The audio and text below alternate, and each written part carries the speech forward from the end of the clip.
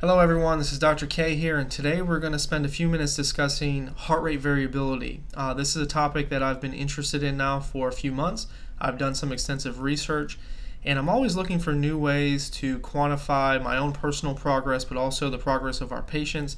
And this is a great objective biomarker that assesses the integrity of your central nervous system and your, your general readiness to handle stress on a day to day basis. So, Today we're going to discuss what is heart rate variability or HRV, why should you possibly consider monitoring HRV, and then if you're interested, how do you go about setting this up and, and a step-by-step process on how to test this on yourself. And so um, that'll be at the end of this presentation. We'll have actually a step-by-step process going through all of the intricate details of how to do this. And honestly, it's not very difficult.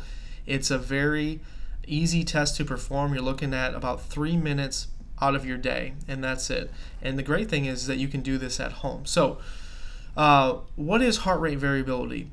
HRV is, by definition, the physiological phenomenon of variation in the time domain between the R to R interval or the beat to beat interval.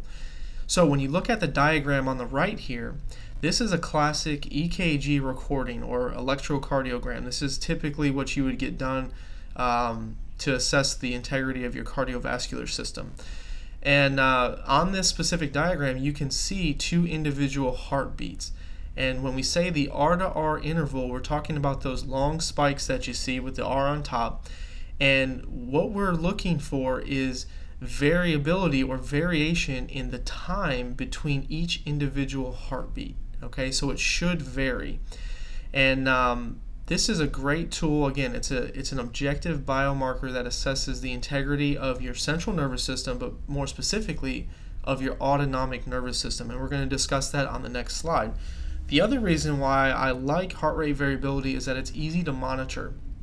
As a patient, you do not have to come into a healthcare provider's office to get this test done. You can do it in the comfort of your own home. So it's an easy test to monitor daily. Again, it's a short test. You're looking at about three minutes out of your day, which is not too much to ask. Research shows that a higher HRV is indicative of a balanced autonomic nervous system and then subsequently overall health. And uh, we're going to talk about all the details later, but this is performed on a scale of 0 to 100. So ideally, you want to shoot for a higher HRV, but more importantly, you want to look at a baseline. So you want to have multiple days in a row that shows that shows you your HRV on a day-to-day basis. So it's more or less the averages that you're looking for, and not necessarily just the individual score for that day. Although that does have a, a time and place as far as information. So again, when we look at the autonomic nervous system, we're talking about the part of the nervous system that controls the things that you do not necessarily consciously control, like your heart rate, your blood pressure, your digestion. Um, these sort of things occur on their own. And what I mean by that is if you eat food, you're not necessarily consciously producing and secreting the necessary enzymes and, and whatnot to break that food down and absorb the nutrients. These things sort of just occur on their own when you look when you break down the autonomic nervous system into its subcomponents you have a sympathetic nervous system and a parasympathetic nervous system. The sympathetic typically most people are going to jump they're going to say the fight or flight response. So this is your stress response. This is essentially for survival mode. And typically you do not want to be in this state on a day-to-day basis. I mean this is meant for uh, stress responses. If you have uh, you know something startle you or you're in a life-threatening situation you want this part of your nervous system to kick in. It's more of a primitive part of your nervous system and you want that to kick in so you can uh, you can survive. Now when you look at parasympathetic activity this is primarily where we want to be on a day-to-day basis and this is your rest and digest system essentially this is where sleep will occur and recovery and healing and so forth. We call it your re relaxation response. So these are the two different aspects of your autonomic nervous system, and checking your heart rate variability gives you a great window into how that autonomic nervous system is functioning and it even tells you which way are you leaning. Are you more towards the sympathetic response or are you more towards the parasympathetic response which is what we're shooting for? Now unfortunately with our lifestyles nowadays poor diet uh, stressful family life stressful work life um, people are starting to shift towards this increased sympathetic firing, in long term, it has pretty detrimental health effects. So, in the literature, this is taken out of Stauss in 2003. These are a couple quotes from his paper. Um, this one, first one says, in fact, loss of heart rate variability can indicate severe cardiovascular diseases and reliably predict poor outcome of such conditions. So, in other words, if you have a myocardial infarction, your HRV was low prior to it, then your recovery from that will be uh, not as not as good and not as fast.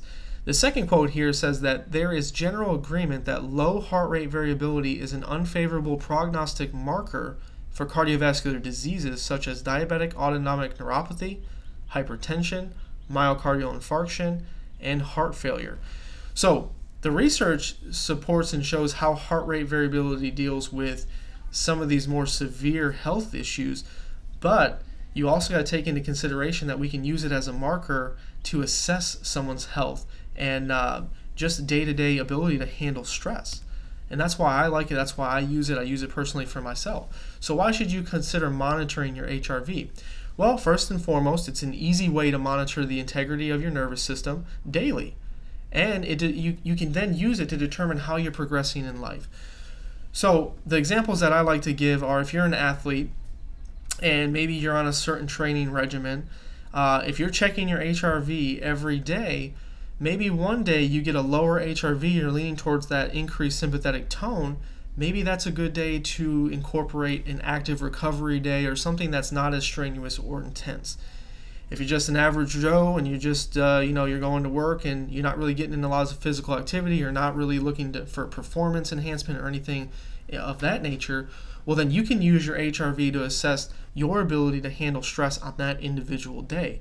In other words, if you have a low HRV that day and you're more sympathetic dominant, that's probably a good day to consciously try to control your ability to handle stress. Don't let things get to you. Uh, maybe pr- practice parasympathetic stimulating exercises, which we're going to talk about in future um, videos, and and you go from there. And that way, you know this is not the day that I need to be super stressed out, or maybe I need to uh, try to rest and recover and meditate uh, more today. So this is applicable to everyone. You know, whether you're an athlete or you're just uh, you know you're just an average person. So if you're interested in this, which I hope you are, because again, I think it's an easy tool to use. Um, where do you start? Well, you start by downloading the Elite HRV app in the App Store. So you can get it on your smartphone or your iPad. It's a free app, so you just download it there. You search Elite HRV. That's the interface that you'll see pop up. You're also going to need to purchase a Bluetooth wireless chest heart rate monitor. And the one that's compatible with um, this app is the Polar H7. So if you go to Google or go to Amazon, you can Google Polar H7 and you should be able to, to purchase this. You're looking at roughly 60 to 80 dollars so it's not too it's not too expensive. Um, if you do go with a decide to go with a different brand, you need to ensure that it's both Bluetooth and compatible with that app. Okay. How do you monitor HRV? So once you set up your Elite HRV, you set up your account. Um, you'll see this screen will pop up, and every morning when you open up the app, you'll see this screen where it says morning readiness, and that's how you start the HRV test and you'll actually get reminders if you turn your notifications on on your phone. It'll tell you, okay, remember to check your HRV today. So here's how you go about doing this. You want to check your HRV as soon as you wake up in the morning. Okay? Go to the restroom first and then check your HRV immediately after. You want to check it in a seated position. Okay? Um, this ensures consistency in the testing, so that's always a big deal. You want to you want to check it around the same time. Um, so maybe not necessarily the same time of each day, but if you get up, go to the bathroom, and then check it, that's standard. Okay, that's standardized. Check it in a seated position, and so you're going to go click the morning readiness, and uh, you'll be able to begin the test. So step-by-step instructions. Once you have the Polar H7 chest monitor, you're going to attach that you're going to apply water over the full length of the sensor for conduction. You're going to sit in a comfortable position. You're going to click that morning readiness uh, button on the Elite HRV app. The test will run for approximately three minutes. You'll see here on this picture, and I'll, I'll try to enlarge this on the video. This gives you your heart rate as well as your variability real time. Okay. What I would do is just close your eyes and relax, let the test run, it'll beep at the end, and then you'll be all set. Once you're finished, you're going to click the save button in the upper right hand corner and then you can also add in your mood, your quality and quantity of sleep, as well as any physical activity that you had. And then you can click save again. Uh, that's this screen. I'll enlarge this one as well. And then the last part that you'll get to is once you go through the actual app, and I'll I'll try to enlarge this one as well in the video, and you'll be able to see the actual graph. It'll graph this your HRV scores per day, so you can go back and keep track of you know what your HRV was over time and uh, ideally you want to be in the green. if you're yellow or red, that means you're you're too far one way or the other. Typically, it's going to be towards the sympathetic side uh, and, and whatnot. Okay, so as a general overview, you want to record daily to establish a baseline. So it's not it's not so much important for you just to get one initial test and say you're good to go or or you're not good to go. You really want to have a baseline or an average. So you want to check this daily to, to establish uh, some time. HRV is scored on a scale of 0 to 100, okay? And the higher the HRV, the more healthy and the more uh, balanced the nervous system is. So a higher score is ideal, but more importantly, a baseline needs to be established to determine your day-to-day -day readiness to handle stress. According to research, average HRV is about 53. So if you're 53 or higher, well, then you are on the better side of average uh, or the healthier side of average. But you need to use this as your own personal marker to assess your progress. So let's say you want to start a dietary plan, you want to start some physical activity program. You can use this over time. Check it daily, and after a month, you can see has my HRV gone up? Has the average gone up? The true goal is to increase your own personal HRV baseline over time okay and that's it. This is just a marker that you can use. Um, it gives you a better window. It's not like checking your weight. It, it gives you a real quantifiable biomarker to assess the integrity of your nervous system.